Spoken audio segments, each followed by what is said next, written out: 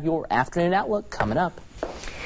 All right, and we are getting another check of our traffic right now. Our Jamie Casino traffic tracker is giving us a live look outside on 16 eastbound right now, and uh, we are seeing a little more traffic than we're used to at this time of the morning, but that might be because people are traveling around uh, for the holiday. But let's go out to our 21 southbound live drive times and show you what those look like. They look great right now. 9th Street to Goshen Road, only going to take you nine minutes. Goshen Road to 95, that looks excellent. Only going to take you six minutes, and 95 to 516 will take you nine minutes.